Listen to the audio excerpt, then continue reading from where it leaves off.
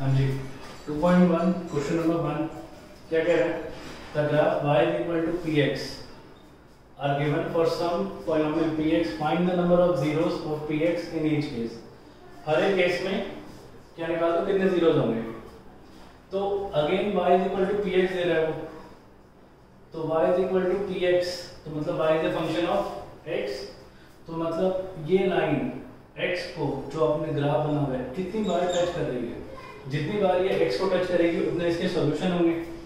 तो अगर हम फ़र्स्ट की बात करें तो ये x को टच ही नहीं कर तो इसका आंसर क्या होगा? ज़ीरो x को टच करना ज़रूरी है ना? Because y is a function of x. अच्छा ये लाइन x को एक बार टच कर रही है। तो इसका आंसर क्या होगा? वन ये कितनी बार टच करनी काउंट करो जल्दी साथ साथ वन टू थ्री इसका आंसर क्या होगा? थ्री यस और नो ये कितनी बार टच कर है एक्स को? वन टू तो इसका आंसर क्या होगा? टू ठीक है?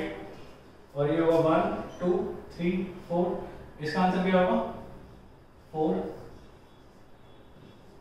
ये कितनी बार टच कर है वन टू एंड थ्री इसका आंसर क्या होगा? थ्री तो ये इनके आंसर्स हैं।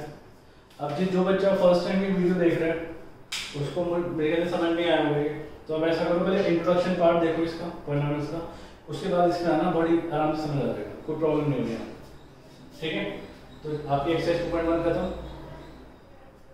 कोई भी अगर आपको डाउट आ रहा है तब भी तो आप कमेंट बॉक्स में लिख सकते हैं। एनी प्रॉब्लम ठीक है? तो इसके बाद हम आगे करेंगे नेक्स्ट क्लास में। यहाँ तक आप इसको नोट डाउन करो।